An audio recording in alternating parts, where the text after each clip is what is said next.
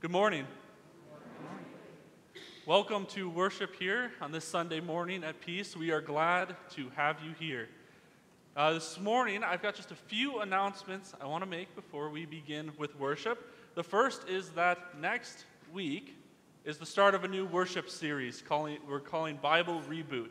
We're going to be going through some different stories throughout the Bible, starting first with the Old Testament, um, and next week is creation. So that will be beginning next week as well as do not forget the car show is coming here at the end of September, in September 21st. So bring your cars, your trucks, whatever other fun vehicles you have to show um, and be a part of. And we also have one last announcement, which is that the men's club is back. And they're going to have a steak dinner on September 14th at 5:30. The cost is $20, and you can sign up at the information booth out in the Narthex before you leave. Um, so come, join, and get to be a part of all of that with us. Uh, as we begin, I invite you to stand and greet those around you.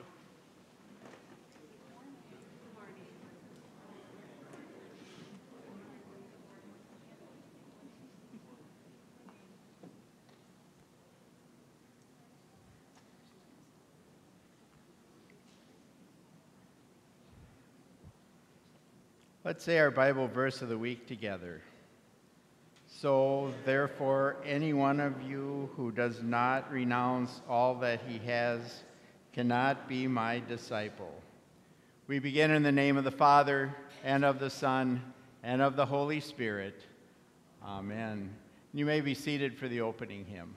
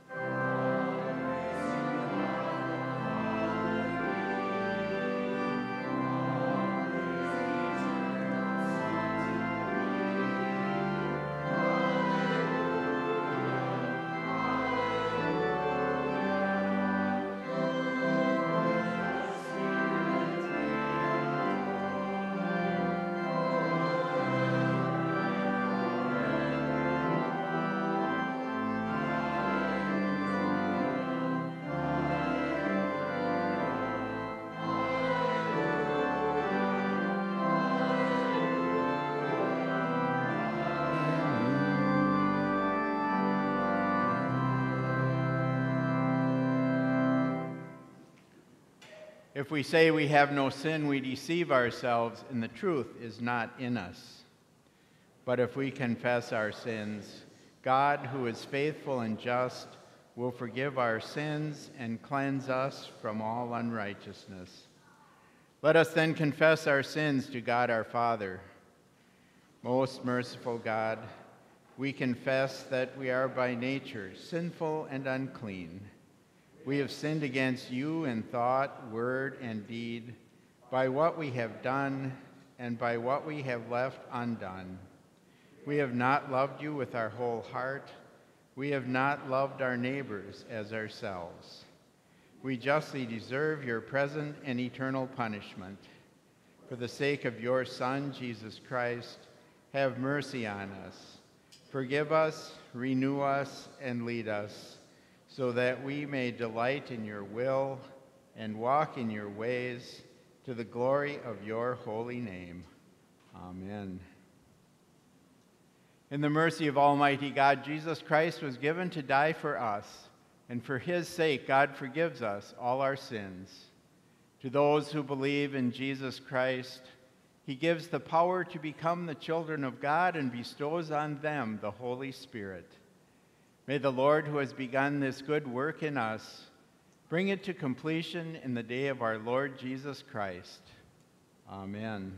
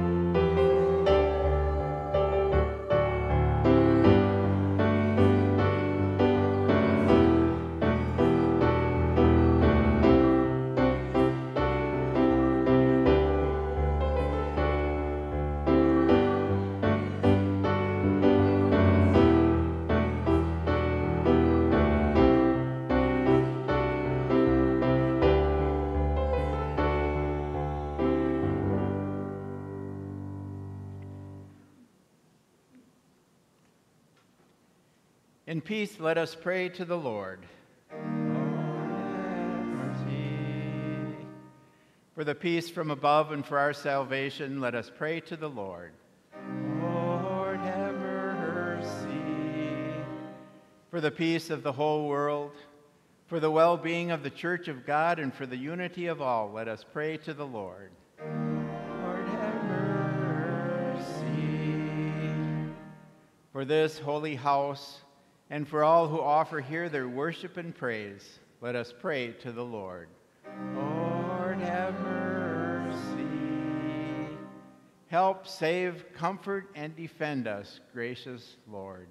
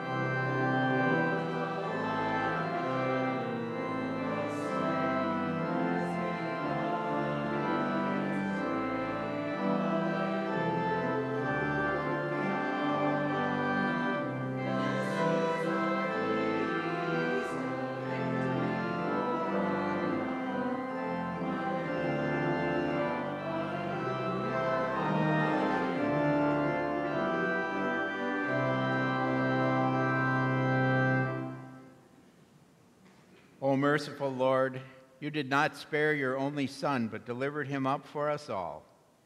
Grant us courage and strength to take up the cross and follow him, who lives and reigns with you in the Holy Spirit, one God, now and forever. Amen.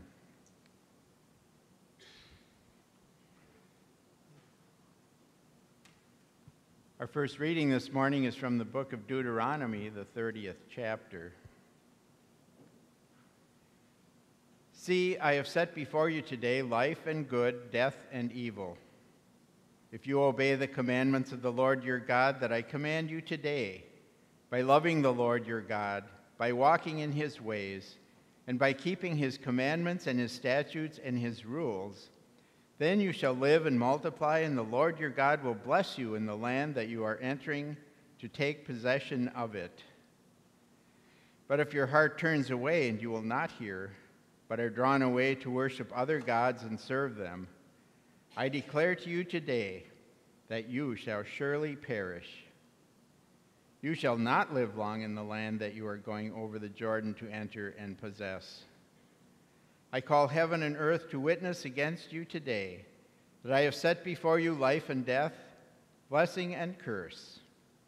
Therefore, choose life, that you and your offspring may live loving the Lord your God, obeying his voice, and holding fast to him. For he is your life and length of days, that you may dwell in the land of the Lord sworn to your fathers, to Abraham, to Isaac, and to Jacob, to give them. This is the word of the Lord.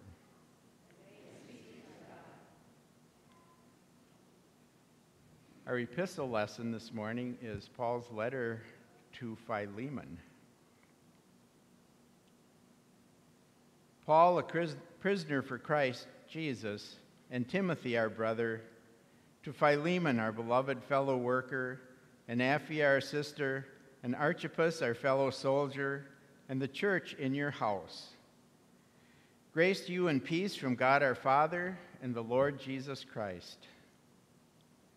I thank my God always when I remember you in my prayers because I hear of your love and of the faith that you have toward the Lord Jesus and all the saints. And I pray that the sharing of your faith may become effective for the full knowledge of every good thing that is in us for the sake of Christ. For I have derived much joy and comfort from your love, my brother, because the hearts of the saints have been refreshed through you. Accordingly, though I am bold enough in Christ to command you to do what is required, yet for love's sake I prefer to appeal to you. I, Paul, an old man and now a prisoner also for Christ Jesus. I appeal to you for my child Onesimus, whose father I became in my imprisonment. Formerly he was useless to you, but now he is indeed useful to you and to me. I am sending him back to you sending my very heart. I would have been glad to keep him with me in order that he might serve me on your behalf during my imprisonment for the gospel. But I refer, preferred to do nothing without your consent, in order that your goodness might not be by compulsion, but of your own free will. For this perhaps is why he was parted from you for a while, that you might have him back forever no longer as a slave, but more than a slave, as a beloved brother, especially to me, how much more to you, both in the flesh and in the Lord. So if you consider me your partner, receive him as you would receive me. If he has wronged you at all, or owes anything to you, charge that to my account. I, Paul, write this with my own hand. I will repay it to say nothing of your owing me every, even your own self. Yes, brother, I want some benefit from you and the Lord. Refresh my heart in Christ. Confident of your obedience, I write to you, knowing that you will do even more than I say. This is the word of the Lord.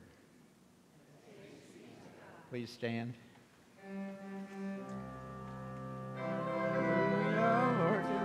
shall we go? You have the words of eternal life.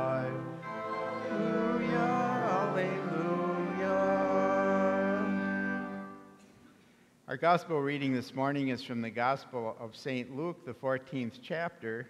This will also serve as the sermon text for Vicar Bryce's sermon this morning.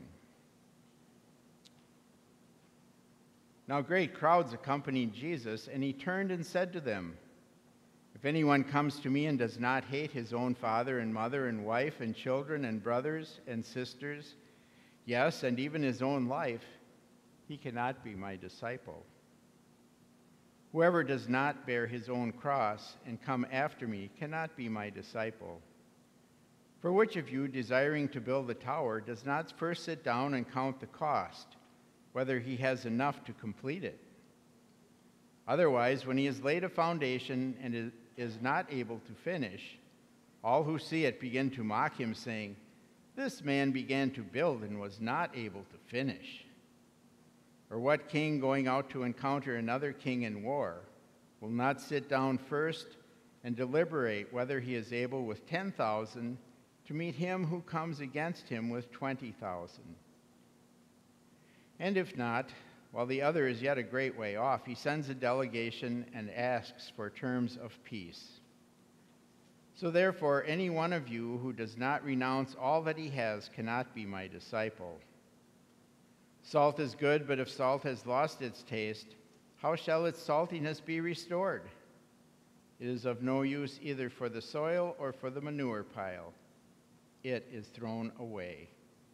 He who has ears to hear, let him hear. This is the gospel of the Lord. You may be seated for the sermon hymn.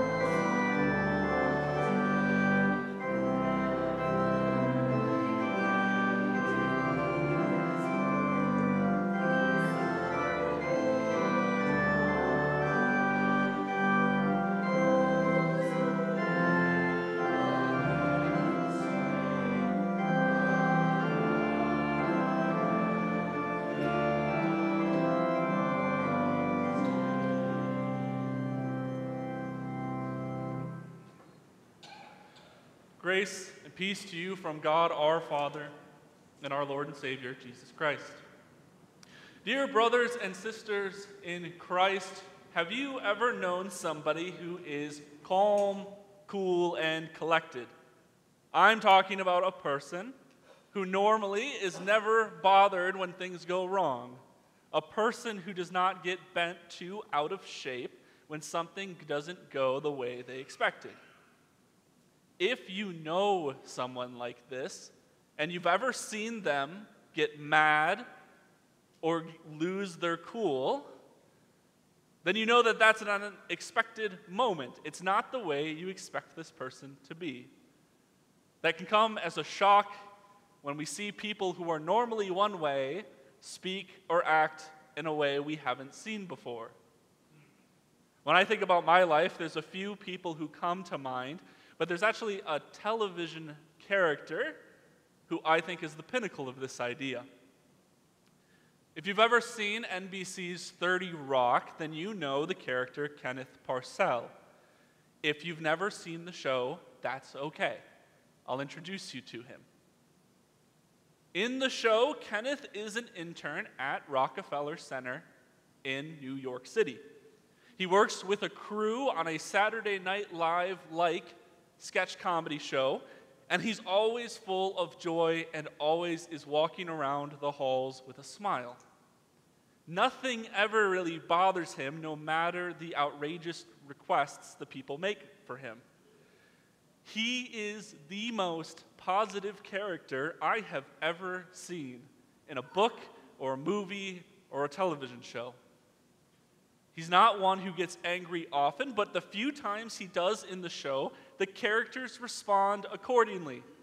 They don't know what to say when the calm and happy guy all of a sudden is upset with them, or is yelling, or is unsure of what's going on.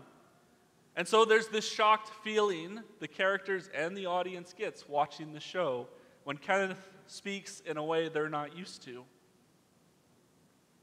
I think in our gospel reading this morning that Jeff wrote, uh, read for us just a few moments ago, I think we experience perhaps a similar shocked feeling to Jesus' words. We're used to hearing good things from Jesus. Come to me and I will give you rest. Do not be anxious. Consider the lilies of the field. But in our reading this morning, we hear him say, You must hate your family, give up your life and all that you own to be my disciple. I don't think most of us would expect these things to come from Jesus' mouth, but they do. And I want to be clear before we go any farther that Jesus is not speaking this way out of frustration or anger. Jesus' words are intentional, clear, and direct to the people that are there with him. And so, to better understand these statements from Jesus and these demands he makes, I think we should start from the beginning. So, in the first two uh, verses of our reading, we have the scene set for us. Jesus is still traveling towards Jerusalem, still traveling towards what he knows is coming. And with him is this massive crowd, actually, massive crowds uh, following him. And so, among these crowds are people who have been with him for a while, who have been his followers already for who knows how long. But also, he has people with him who are on the fence, who don't know how long they want to follow him for. And so there are probably families in these crowds, sons and daughters with their parents, and there are young folks who are come to hear what Jesus has to say. These crowds want to learn from this great teacher. And so they're probably wondering, like we do when we come on Sundays, what good news does this teacher have for us today? And so as they stand there, ears perked up, listening for Jesus' words, they hear him say, If anyone comes to me and does not hate his own father and mother and wife and children and brothers and sisters, yes, and even his own life, he cannot be my disciple. What a reaction this must have gotten. I can imagine those in the crowd now looking at their families, wondering, does he really mean this? Mothers probably looked at their sons, saying, Do I really have to hate you to be his disciple? I think that's the question on anyone's minds who've heard these words since that day. Does Jesus mean it when he says hate? Yes, Jesus means it. He's speaking directly but it's important for us sitting here in the 21st century to understand what's meant by hate in the first century. Jesus is not calling sons to have a great disdain for their fathers. He's not telling mothers to wish the worst for their daughters. Jesus is speaking of a hate that is not so closely tied to emotions, but more tied to one's actions. Jesus knows what's coming for his disciples. And so he tells them, You may have a day where you turn away from your families, where you have to follow me instead of listening to your mother or father because they command something God has forbidden. So, on those days, when they have a father who tells them to disobey God, the disciples, the people Jesus speaks to, is saying, You must turn away, you must hate them, and follow me. And this was not hard for the people in the crowds to envision. Christianity was not the norm at this point in time. To follow Jesus meant to go against the beliefs of your family, your friends, and your community, unless you were fortunate enough for them to also be Christians by this point. So, for those in the crowd, they can probably imagine the conversation when they get home. Dad, I have chosen to follow Jesus as Lord. That conversation is one that will most likely end with them outside of the home, all on their own, potentially even shunned by their families. And so, for those in the crowd still considering to fo- if they're going to follow Jesus, it means to follow him, a loss of their family, and quickly. And so, if this first statement from Jesus was not shocking enough, then he continues with another Whoever does not bear his own cross and come after me cannot be my disciple. Again, a statement that is shocking, disgusting. It fills probably the thoughts of these crowds with disgust. Because for these crowds, bearing the cross is not a term that means dealing with hardships in one's life, but it's a very present reality that they are seeing around them. If you've ever seen the Passion of the Christ, you know what a crucifixion might look like. And that's what they're envisioning. To bear their own cross is to lose their own lives. And so, when these words, when this statement of Jesus lands in the hearer's ears, they envision a horrific scene. A scene where a person is arrested, beaten, tortured, humiliated, and mocked in the worst way possible for everyone in the public to see. And so, at this point in our text from this morning, Jesus gives us a little insight into why he's speaking in shocking ways. For those in the crowd who are on the fence, who aren't sure how far they're going to follow Jesus, he wants to make it clear what it costs to be his disciple. He gives two analogies about these people who are preparing uh, to make a big decision, and these men are both considering the cost of what their actions will lead to. They're making sure that they know what will come so that they do not fail horribly. And so those to those in the crowd that are on the fence, Jesus is laying out the possible losses that come with following him. Because Jesus does not want followers just when life is easy, but rather he knows what is coming to his disciples and wants them to be prepared.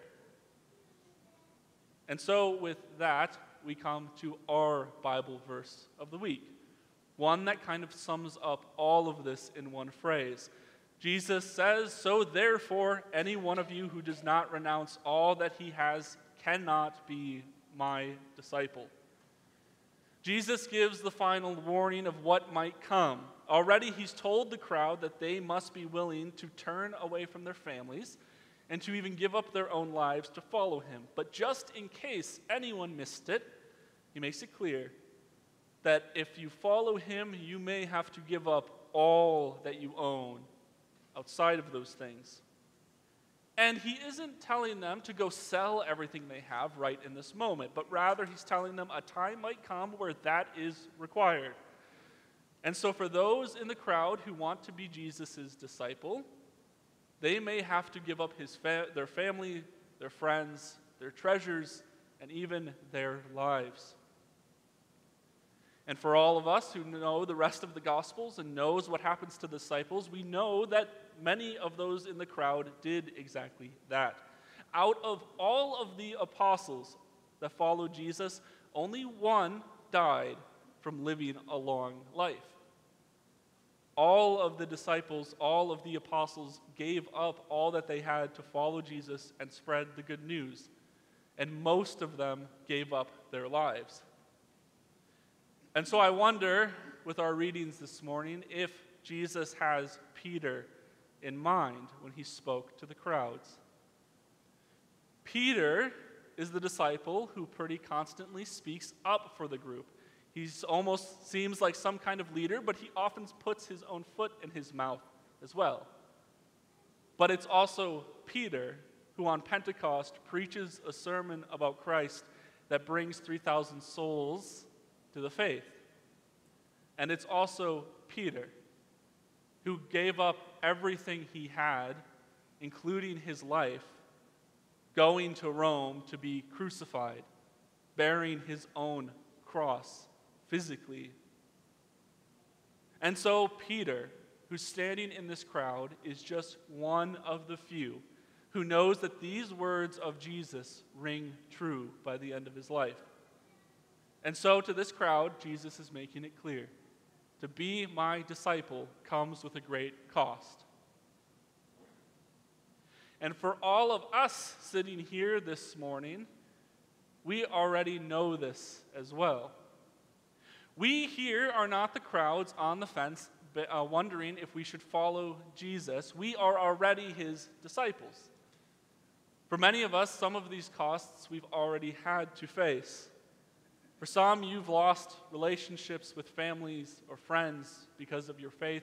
For others of you, you've lost opportunities in life or you've had to make decisions because it went against your faith. Jesus knows that this is coming to us all. And for us here, we've faced this. And fortunately, we do not need to fear for our lives like the early Christians, like Peter, needed to. But there's others in the world who still do. Nigeria, Afghanistan, and North Korea are just three of the top countries in which persecution of Christians is high. Last year, 17 Christians were killed a day in Nigeria just for their faith alone. And so it's in these places and others around the world that our brothers and sisters are still giving their lives to spread this good news. And so, still today, the cost of discipleship is great. But I come to you this morning with good news like all the disciples did before me, from Peter to Pastor Dave to all the other disciples of Christ in between. Even though there are great costs associated with discipleship, there are greater rewards. And we need to talk about them. So, Jesus says that you may have to turn away from your family, but at the same time, He gives you a greater family, a larger family, a family that spans all of time and space. And they're sitting right next to you. For all of you who are sitting in the front, turn around and look at those sitting behind you. For those in the front, make sure that you greet those who are sitting way in front of you this morning, because these are your brothers and sisters. These people are a part of your family, and we're all joined together because of Jesus. And this family is not contained in this one moment or within these walls here at peace. All over the world, there are other Christians who are part of our family. You know, the youth gathering that happened back in July, I think, could really be called a family reunion with 20,000 members in attendance. Imagine having to make the food for that family reunion. And this family, that not only includes the 20,000 at the youth gathering, not only the people within peace, not only the Christians around the world, includes people like Abraham, Noah, and even Adam. And it includes all the people who will come in the future that we don't even know or can't even imagine. And so, what does a family do? There's three things I'm going to suggest to you this morning. First, a family, they care for one another. A family, they gather together. And a family, they celebrate together. We can serve and care for one another in all different ways and in all different times. I've seen it happen already here at Peace. When people have gotten hurt, I've seen others rush to their aid. When we have funerals here in the fellowship hall or here in the sanctuary, there are groups that are taking care of the meal and are there for the grieving families. So, one of the things we do together is we care for one another. And we continue to do it with already how good we do that already. We also can gather together, like we've done this morning. We've all gathered here to be at church, but we can also gather at other times. We did that last week for our picnic. We've got a car show coming up where we'll gather together again. But I also encourage you to gather together in your everyday life. For those of you who enjoy going on walks around town, ask those around you here at church this morning if they'd like to join you. If you like to go to the park, or you like to go on hikes, or you like to go to a nearby zoo or a lake, invite others with you like you would your family at home. And we can also celebrate together. This is something else that I've enjoyed seeing since I came here to Peace. Because in our morning devotions on Facebook, one of the things we always do is make sure to let you know whose birthday is that day and whose wedding anniversaries are that day. So all of us can celebrate with them. And I also saw this last week. If you were happened to be at the picnic on Sunday, or if you watch the video after the fact, you'll see that we all sang to Pastor Dave, whose birthday was this last Monday. Or for Anna, who can't hide, uh, her birthday was this last week as well, and I heard the halls of the students and the teachers singing for her. And I'm sure the same will come for those who celebrate later. And so we as a family can do these three things together and we can be intentional about it. Be intentional about caring for another, intentional about gathering together, and intentional about celebrating with one another. Oh, but the family is not just the only reward. If you thought having this greater family was good, well, good news, there's a few more that come. The next reward comes because when Jesus says to be prepared to lose your life for him, he gives you a life everlasting. A life that does not have pain and suffering, a life that is empty of worry and fear. When he says to be prepared to bear your cross, he knows already the one he's going to in Jerusalem. And through the cross, he gives you this everlasting life an everlasting life lived with this family. And Jesus says you might have to give up all that you have to follow him, but he gives you all you need. Our Heavenly Father of this family richly and daily gives us what is needed for this life. And he gives us the most important thing. Through the cross, Jesus gives us his blood takes away our sins, the only thing we cannot remove from ourselves. And so that blood gives us the everlasting life. And when you're baptized into Christ's death, resurrection, and death, you are joined into this family with the rest of us. It is only through Jesus' own cross that we can bear our own and give up all that we have. And it is through this cross that these great rewards are given to you. And so, with these things in mind, like all the other disciples before us, like all the apostles who have gone and most of who died for this faith, we can go and proclaim the good news about Jesus without fear to our friends, to our families. And this means we can spend time with each other, caring for each other, knowing that this family is one that lasts forever. And it means, too, that we can be willing to die if the time ever came, knowing that Jesus will keep us and we will be with him forever. As we come to an end this morning, I'd like to share the story of another man with you. Another man who does some pretty shocking things. His name was Polycarp. You've probably never heard that name before, but he is a person who died in 156 AD. He was a student of John the Apostle. Polycarp was wanted by the authorities. He was wanted only because he was a disciple of Christ and sharing the news about him.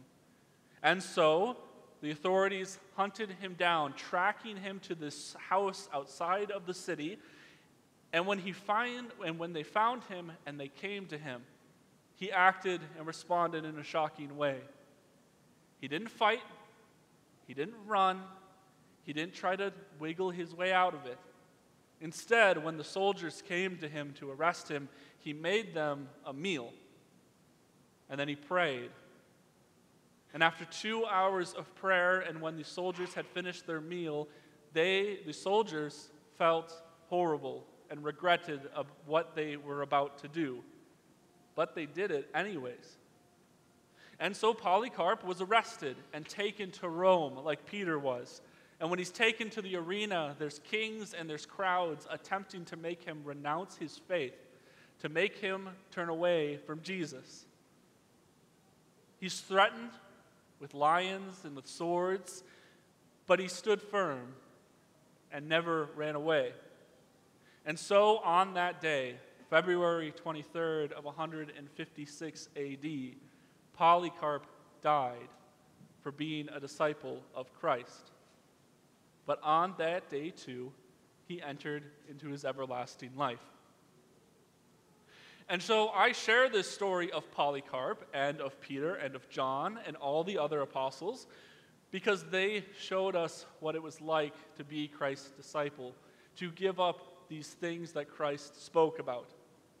And so, when the time came, all of them followed Jesus instead of running away. And because of his faith, Polycarp is also a part of our family together. Amen. Please stand. And may the peace which surpasses all understanding guard your hearts and minds in Christ Jesus. Amen. We continue with confessing our shared faith in the words of the Apostles' Creed. I believe in God the Father Almighty, maker of heaven and earth, and in Jesus Christ, his only Son, our Lord, who was conceived by the Holy Spirit, born of the Virgin Mary under Pontius Pilate, was crucified, died, and was buried. He descended into hell. The third day he rose again from the dead. He ascended into heaven sits at the right hand of God the Father Almighty. From thence to judge the living and the dead.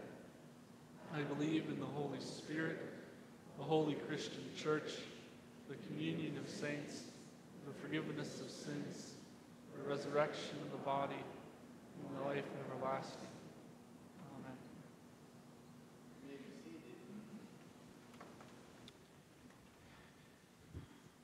Beginning September 12th, we will be having a care group for those who have lost loved ones called Grief Share.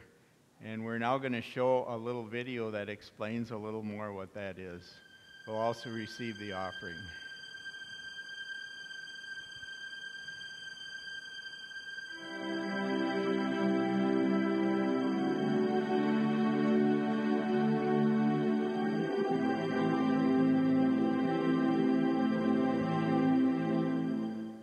I immediately went back to work so that I didn't have to think about my father's death. I was very fearful of going through any process that would make me have to revisit my father's death. I was afraid the pain would open a door to something that I couldn't handle. I started experiencing uh, depression. It was slow at first. Um, it began with just overwhelming feelings of being discontent.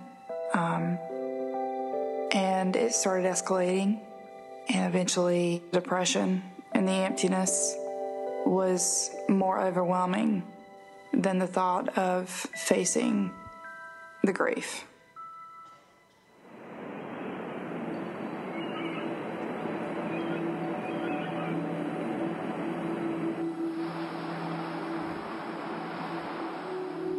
The process of finally dealing with the grief began with Grief Share. It's very much like going to the ocean and wanting to take a swim. You've got that initial wave that comes at you, and then you have to face it, let it come over you, and then you shake yourself off and get ready for the next one. And the process of grief share helped me do that. With each wave that came, with each new lesson that I learned, I was able to let it wash over me, process it, and use it to move forward. I love talking about my father now. I love sharing his stories. I love watching videos. I love looking at the pictures, the memories. He was a wonderful man. Now I feel like having accepted the loss, I can now celebrate the life he had and feel joy for those times. Grief Share is a support group open to men and women dealing with the death of a loved one. To learn more about Grief Share, speak to the Grief Share leader at your church.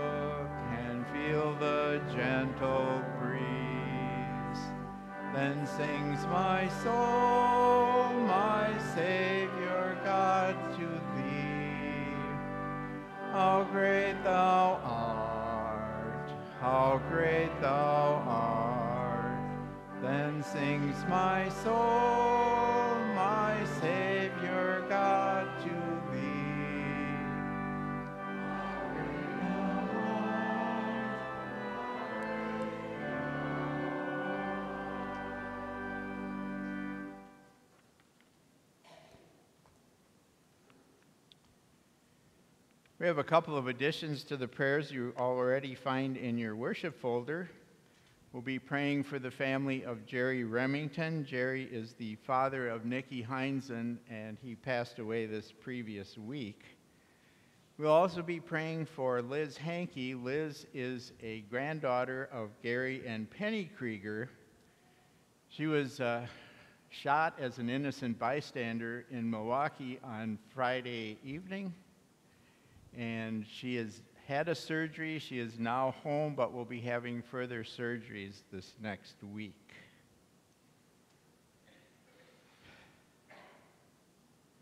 Good Lord, we commend to you all who bear office in our land and ask you to make them a blessing to those they serve. Bless all first responders as they serve and care for us in our times of need.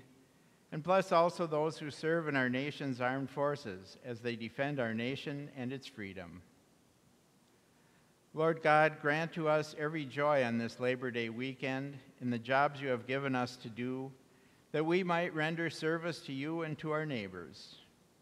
Remember those in need of honest labor and daily bread, and give them gainful employment according to your good and gracious will. O Lord, give the strength of the Spirit to all who are suffering in any kind of need, including members Jack Greening, Joe Schrader, Gary Krieger, and Naomi Engelman. For friends and family, Liam Hayek, Hank Resch, Natalie Dobson, and Liz Hankey. Those injured in military service and those known to each of us. Grant them comfort and healing according to your good and gracious will. Heavenly Father, we thank you for all of the members of our Peace Lutheran Ministries family of believers and pray for all whatever their needs might be. We name today Mary Jane Roosh, Kyle, Anna, Evelyn, and Grace Rustick, Alan and Susan Schilker, Cody and Lucas Schilker, Pat Schmidt, and Tina, Mike, Megan, and Jonathan Schmidt. Lead us to grow in our faith and grant that we might follow Jesus Christ in our loving service to one another. Merciful Lord, Care for the family and friends of Marvin Went and Jerry Remington, granting them comfort and strength in their time of loss as they mourn the passing of their loved ones.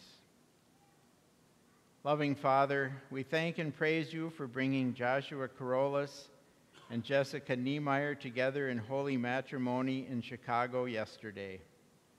Bless them in their life together, and may Christ always be in the center of their marriage. Father of all, we thank you for the birth of a healthy baby girl, Etta Jane Cockish, born to Aaron and Sydney Cockish. Be with her and bless her throughout her life. Preserve us, O Lord, from all temptation and grant us faith that we may rest all our prayers and the desires of our hearts in your merciful arms for the sake of your Son, Jesus Christ our Lord. Amen. Please stand with me as we pray the prayer Lord taught us. Our Father, who art in heaven, hallowed be thy name. Thy kingdom come, thy will be done, on earth as it is in heaven. Give us this day our daily bread, and forgive us our trespasses, as we forgive those who trespass against us. And lead us not into temptation but deliver us from evil. For thine is the kingdom, and the power, and the glory, forever and ever. Amen. The Lord be with you. And also with you. Lift up your hearts. We lift them to the Lord. Let us give thanks to the Lord our God. It is right to give him thanks and praise. Blessed are you, Lord of heaven and earth, for you have had mercy on those whom you created and sent your only begotten Son into our flesh to bear our sin and be our Savior. With repentant joy, we receive the salvation accomplished for us by the all availing sacrifice of his body and his blood on the cross.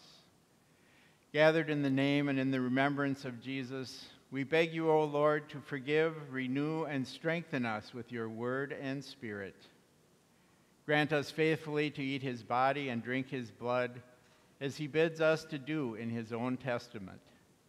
Gather us together, we pray, from the ends of the earth to celebrate with all the faithful the marriage feast of the Lamb and his kingdom, which has no end. Graciously receive our prayers, deliver and preserve us.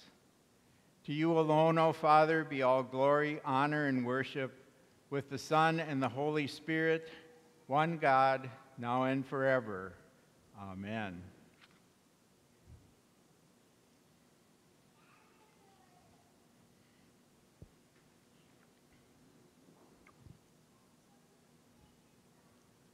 Our Lord Jesus Christ, on the night when he was betrayed, took bread.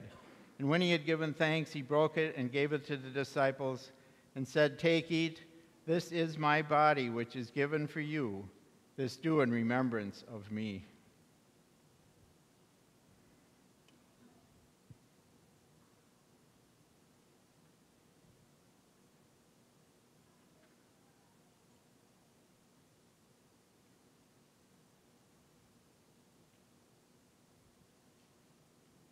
The same way, also, he took the cup after supper, and when he had given thanks, he gave it to them, saying, Drink of it, all of you. This cup is the New Testament in my blood, which is shed for you for the forgiveness of sins. This do as often as you drink it in remembrance of me. And now may the peace of the Lord be with you always.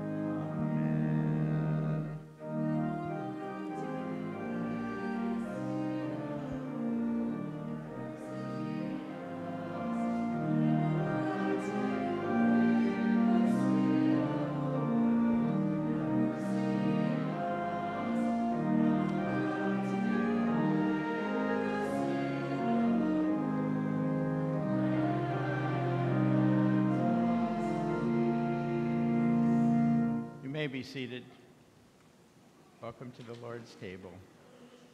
Take, eat. This is the true body of our Lord and Savior Jesus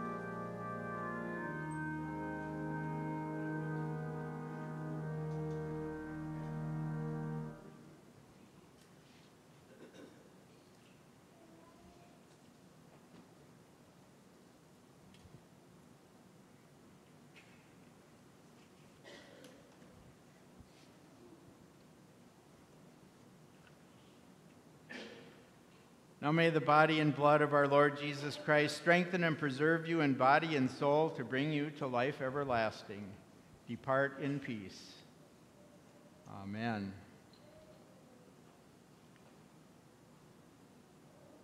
Gracious God, our Heavenly Father, you have given us a foretaste of the feast to come in the holy supper of your Son's body and blood.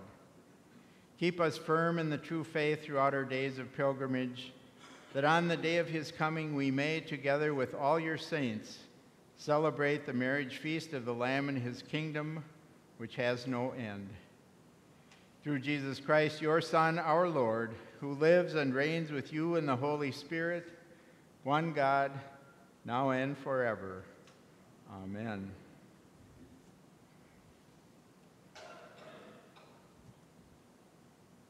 Let us bless the Lord.